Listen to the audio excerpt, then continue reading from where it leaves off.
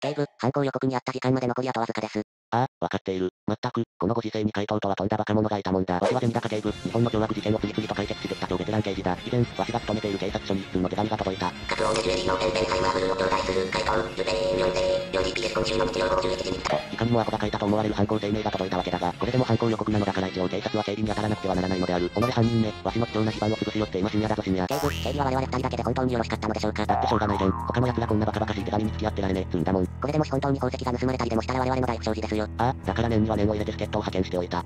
そう彼女らが頼れる助っ人、田中チャンネルの皆さんだ。彼女たちは以前ゆっくり茶番探偵と名乗っていたほどの実力派探偵たちだ。え、それってつまり自称ってことですか？任せてください。オペンペンハイマーブルーは必ずアリスたちがお守りしてやるのん。大船に乗ったつもりでいるのん。あー、めんどくせえのぜー。おりゃー、こんな茶番に付き合ってられないのぜー。そう言いなさんな。せっかくの警察からの依頼だ。ここで鍵を作っておくのも悪くねえ。あ、あたし、白霊霊夢、17歳よ。はわー、これ全部金庫ですか特にペンペンハイマーブルーハイスピンダーとか。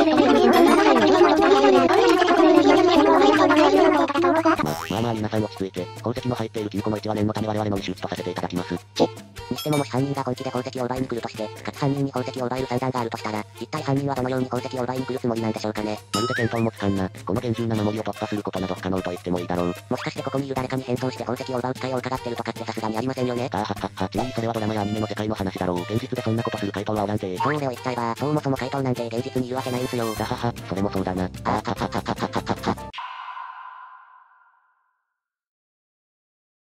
白霊霊夢い。やー、まさか、なんてことだ。まさかこの中に怪盗が紛れ込んでるというのか。誰だ、一体誰が変装している怪盗なんだ？そう、助っ人を大勢呼んだのが裏目に出たか。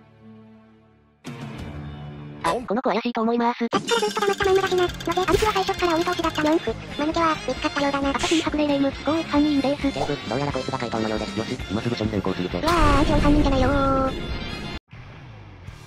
シオン怪盗なんかじゃないよ。シオンはシオン、シオンだよ。本日もお日柄が良く、霧雨マリサです。みんながよく知るコンパクヨウムなのぜ。私、私、私、私だにょん。アリスマーダトロイドだにょん。視聴者のみんななら、一目で私が本物だってことがわかるよな。こちやさないだあ。たし、白霊霊夢、17歳よ。好きな男のタイプ。シオンがシオンだと証明するために、今日も今日と手番からマッチ、やっていくます。頑張るます。というか今日のみんなおかしいよ。いつもとキャラが違うくなってるっていうか、キャラが入れ替わってるというか。ピクニク、とっとととそんなことないよ。私霧雨マリサだよ。大上様戻ったらどう？見てもコンパクヨウムなのぜ。そういうお前こそいつものシオンじゃないのぜ。やはりお前がシオンに変装した偽物なのぜ。そ、そうかな？シオンいつもと違うかな？そ、そうだなそうだな。いつものシオンなら開始10秒のうちに真のごとく敵陣地に殴り込み大量にキルを狙いに行ってたはずだ。しかし、今のシオンからはその様子が見られない。やはり怪盗はあなたで間違いなさそうですなわ。かったー。違いますー。いつものシオンがみんなからどう思われてるのかよくわかんないけど、シオンにはシオンのタイミングがあるんだよ。今シオンが使っている武器は必戦。こうやって高いところを利用して上からバシャバシャして安全に敵をぶっ転にしていくよ。うんす、これがシオンの頭良すぎる戦い方だよ。こいつ、頭を使って戦っているのん。いつものシオンだったらもっと頭悪そうに突っ込んでは爆散してるようなアホな戦い方してた気がするの。ん。なるほど、やはり怪盗はあなたで確定ってことですな。ええじゃあ頭使わずに戦い。ます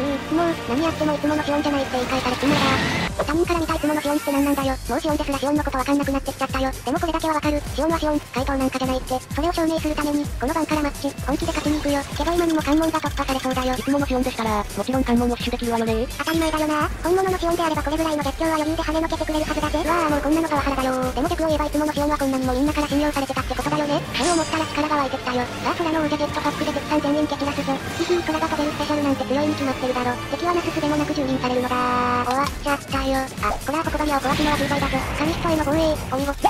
ああ、ダメダメダメ、死んじゃう死んじゃう死んじゃう。ステージオブジェクト強突首相官、シオンを守れ。ふん、なんとか生き残ったよ。さっきから紙一重にょんね。しかし夜が明ければお日様が照らす。ピンチを乗り越えた後は必ずチャンスが巡ってくるのだ。みんなのもの突撃。今度はシオンたちが攻める番だ待たせたね視聴者の諸君。これから行われるはシオンの真のごとき殺戮書ないやー、ダメダメダメ関門突破しないでー。こっちの攻めのターン短すぎだろ。もう、言い訳のしようもないのんね。いやまだだよ。まだシオンたちは負けてない。ほらほら、ちゃんと防衛はできてますし。ちゃうねんちゃうねん。勝敗はどうでもいいのぜ。俺たちはシオンに自分がモノ本だって証明がしてほしいのぜ。だったらスプラの腕前以外でも証明方法いっぱいあるくない？別にスプラの腕前じゃなくてもいいじゃん。それ以外の方法で証明するよ。より神シオン、元貧乏神、好きな食べ物はシュークリーム。うん、それぐらい少し調べればすぐですわ。しょ、食用ミート、趣味は食べること。最近路地裏のニャンコちゃんたちの餌やりを日課にしてます。路地裏のニャンコに？いやいや、そんなんじゃ証明にならないっつうの。じゃあなあ、教えれば証明になるんだよパンツかシオンがいつも履いてるパンツの柄でも教えればいいんかスクショ言ってやら、シオンが履いてるパンツは可愛いクマさんがプリントされたパンツだベラボーメ。いや、ほんとなんでこんな動画内でこんなこと暴露しなくちゃいけないんだよ。めちゃくちゃ恥ずかしいよ。お、前が履いてるパンツ暴露されても私らお前が普段何履いてるか知んないし、何の証明にもならないのんよ。あれれ、おかしいな。以前みんなにシオンの履いてるパンツがバレて爆笑された記憶があるのに、その発言は妙だな。え、あ、そう、確かそうだったにょんね。あ、今思い出したにょん。今日のアリスおかしいよ。にょんとか変な語尾つけてさ、キャラじゃないんだからその語尾やめた方がいいよ。聞いててこっちが恥ずかしくなっちゃうよ。えー、あ、はい。申し訳ございませんでした。おっとここに来てアリスが回答説浮上してきたので、まあヨウムは初めっから犯人がアリスだと分かっていたので、ああもうのでのでうるさいよ。ヨウムもその後ビタ用しすぎ。普通に変だよ。え。ごめんなさい。そして妙に張り合いがない。いつものヨウムなら突っかかってくるのにね。くっ失礼。それにマリサはふんわりした喋り方だし、サナエはおっさんみたいなキャラになっちゃってるし、みんな共同しちゃったんだよ。風邪でもひいちゃったの？そ、そういうお前こそスプラの腕前が、シオンの腕前は今この瞬間から発揮される。ジェットから放たれる圧倒的火力に、それを巧みに操るシオンの圧倒的操作技術。果たして敵は、滅びずにはいられるかないいな敵は一匹残らず蹂躙だ。最後はそこのデュアルさんでゲームセットだぜ。大変ありがとうございました。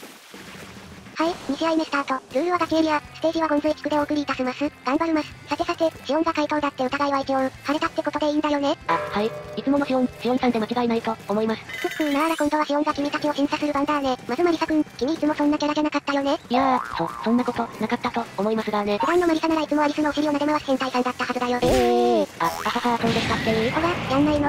やらなかったら君偽物だよ。ぐへぐへへ、え、本当に、本当にやっちゃっていいんすかね？えー、じゃあ、失礼しますよそ。してアリスは向かってくるマリサをすかさずぶん殴る。イエーイ。ひ、ひひ、そ、そそそうそう、そんな感じに、ひひひ。副長このメスガキ私らで遊んでやがる。警部、もうこれあれですね。で、一人一人身ぐるみを剥がしていった方が手っ取り早いと思います。えー、あ、なるほど。ナイスアイデアだよ、チミー。よし、であれば我々合体で彼女らの身ぐるみを引っぺがしていくぞ。はい、警部い。やいやいやいやいやいや、警部さんそれはやばいって、警部さんみたいなおっさんが少女たちの身ぐるみを引っぺがす。それ完全に事案じゃないっすか。こんな状況じゃ、もはや致し方ない。そうですね、警部。これも怪盗を捕まえるための致し方ない犠牲です。ふざけんなお前らはただ少女の服脱ぎ脱ぎしたいだけだろ。うわー話せー。いやー見てください視聴者の皆さん。今警察官がわいせつな行為を行っています。誰か通報を。いやーそこはダメそこは言っちゃダメなやつ。いやー。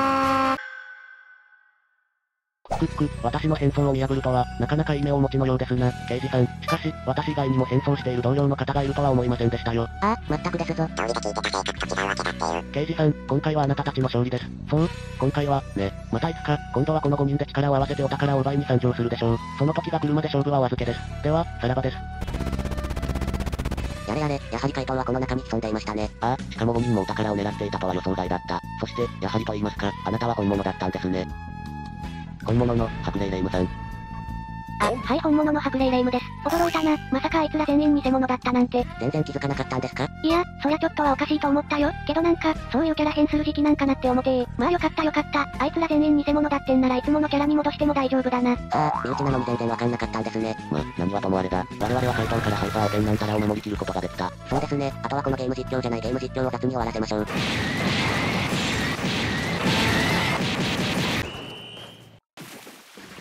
こうして白霊霊夢によってまた一つ難事件が解決されたのであった。いやあなた何もしてないじゃないですか。そうだね？これから3人で事件解決のお祝いに飲みにでも。おいいっすね行きましょ行きましょ。ふわーすんません警部。来るの遅れましたもう事件の方解決しちゃいましたは